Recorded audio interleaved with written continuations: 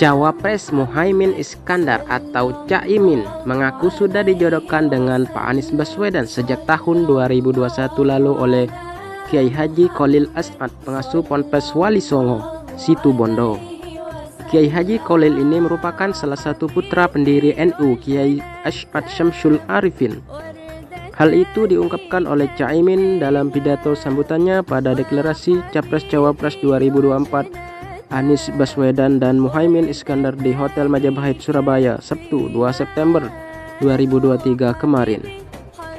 Caimin menyebut jika saat itu dia dipanggil oleh Kiai Khalil As'ad dan diminta untuk berpasangan dengan Capres Pak Anies Baswedan dalam Pilpres 2024 mendatang. Ketua Umum PKB itu pun mengaku kaget mendengar ucapan putra pendiri Nahdlatul Ulama tersebut. Kala itu, Caimin tak bisa menolak pun untuk menerima permintaan itu. Tahun 2021 saya dipanggil Kiai Khalil As'ad. Beliau bilang, Muhaimin, menurut saya kamu harus berperas, berpasangan dengan Pak Anies.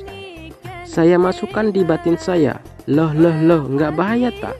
Ketika itu saya tidak berani menerima dan nggak berani menolak, tutur Gus Muhaimin.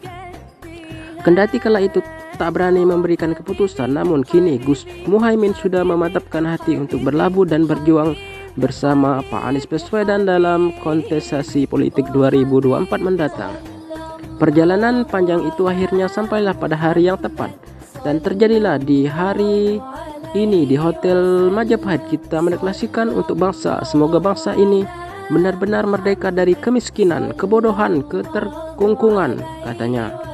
Ia menambahkan deklarasi ini menjadi peristiwa yang sangat bersejarah sebab ini merupakan momentum dalam memulai komitmen menuju Indonesia adil, makmur, dan sejahtera. Kebersamaan sejarah saya dan Mas Anies insya Allah tidak akan terpisahkan dari amanah perjuangan, amanah sejarah, amanah cita-cita dari pendahulu. Saya dan PKB siap melanjutkan cita-cita perjuangan dan nilai juang para pendahulu.